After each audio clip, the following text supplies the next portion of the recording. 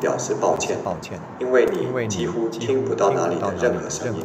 在这里，在这里，我重复了一一百三十七次，只是为了保持主题。无论如何再次抱歉并感谢你的耐心等待。我是说，有几种电子设备设旨在测试飞不是否有不是否有固定固定或其他有害物质。这些设备主要用于检测患者的的肺部健康状况特别是吸烟或或接触污染物的患者。以下是此类设备的一些些范例：。非货量计货量计，非货量非货计是测量非货量和气流的设备。它们可用于检测可能与吸烟有关的气喘或慢性阻塞性肺病病 （COPD） 等肺部问题。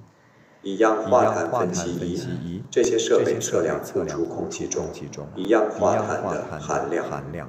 一氧化碳是烟草烟雾中发现的有毒气体毒气体，非不存在一氧化碳，可能表示接触过烟。烟雾。非功能测试这些测试包括用力肺活量 FVC 和用力呼吸量呼吸量 FEVV FEVV 与肺活量 FVC 比率等测量。它们可用于评估肺功能并检测与吸烟或其他有害暴露相关的任何异常。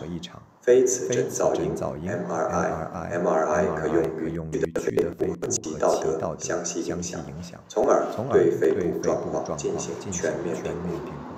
血液检查一些血液检查可用预测量与吸烟或其他有害物质接触相关的生物标记的水平。值得注意的是，解释这些测试的结果需要医学专业知识，并且他们的使用应在医疗保健专业人员的监督下进行。